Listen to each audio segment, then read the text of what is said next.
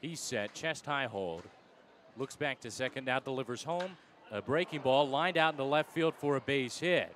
Rounding third on his way home is Bigbie. Here's the throw in from left. It's cut off. Bigbie scores. Back to back RBI singles. And it is now three to nothing Erie here in the fourth.